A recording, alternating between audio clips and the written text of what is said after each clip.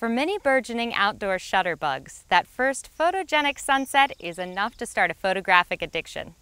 For Bryan Conley, those first few picture-perfect Iowa landscapes were enough to do the trick. Now his camera takes him across Iowa and beyond.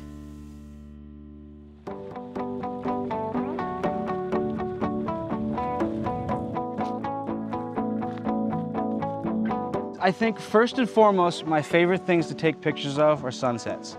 I like sunrises, but I'm never up for them. If a sunset's going on and I'm indoors, I can't handle it. But mainly it's just about wanting to be in nature, wanting to backpack and hike and spend as much time on mountaintops as I can. Bryan Conley is a creative person. Sure, he's an avid photographer, but before that, he was a touring musician and outdoor adventurer. And when he's not being creative, he's pushing others to do so. I think that anything creative is a worthwhile endeavor. I think it, it activates a part of your brain that uh, is healthy and, and good for a healthy balance in life. Whether it's art, music, or photography, or anything, try it. Have some fun. If it's not your thing, it's not your thing. That approach to life is what brought Bryan to photography a natural love of the outdoors and a desire to hold on to that feeling. I guess the way I got into it is that I really enjoy being outdoors, first of all hiking and backpacking, just anywhere around Iowa started off, also Colorado and areas like that. Uh, always had that sense of adventure um, and always wanted to travel ever since I was young. And then playing in bands as I grew up, started to travel with, with music and whatnot. But it seemed like photography was the next step to capturing those moments, I guess. Those travels started taking him to the top of mountains and on long trips through national parks. Eventually, when Bryan returned to Iowa, he decided the only way to replicate his wanderlust was to seek out the hidden treasures the state has to offer.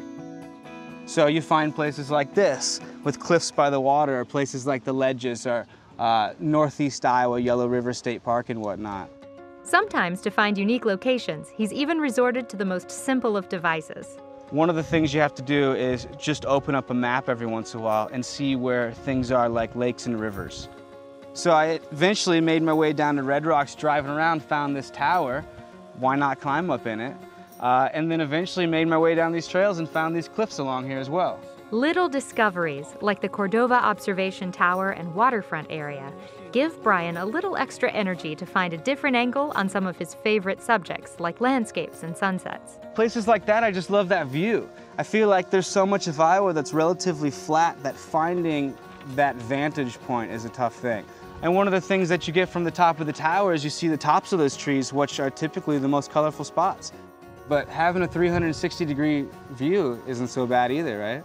And Bryan finds the natural rocky topography of Lake Red Rock's waterfront provides an equally interesting perspective. I've had a lot of good sunsets over there. A lot of silhouettes of people or just clouds in the sky or birds flying by as well. It's a lot you can see from a high vantage point. Bryan's need to get out and explore has led to his most noticeable success a large following on Instagram.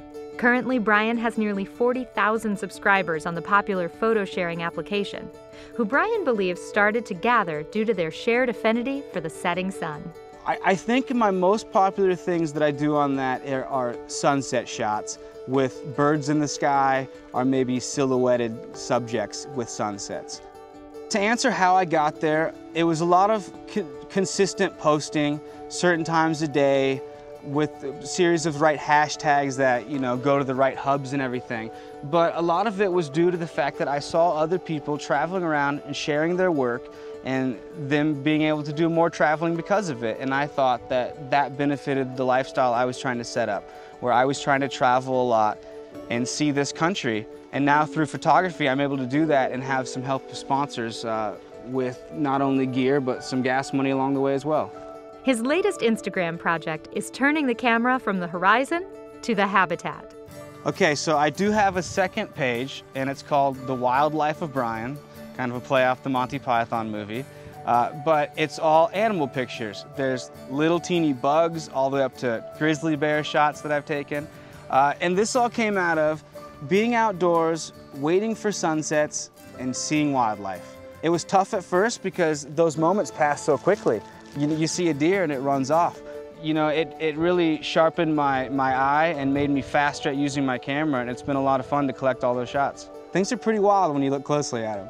As much as Bryan loves Iowa, to him there's no equal to venturing beyond the borders of his home state and across the country. Try to travel as much as I can. I was just in Wyoming and Montana and Colorado for the last three months or so.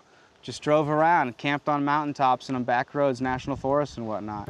Long trips are the only way Bryan wants to travel. And when he shares his stories with others, it can sometimes be a little hard to wrap their minds around several months living out of a van and a tent.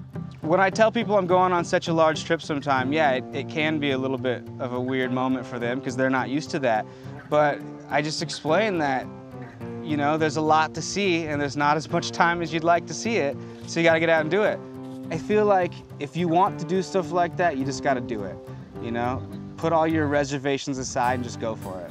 If you aren't able to hit the road for months at a time, don't worry.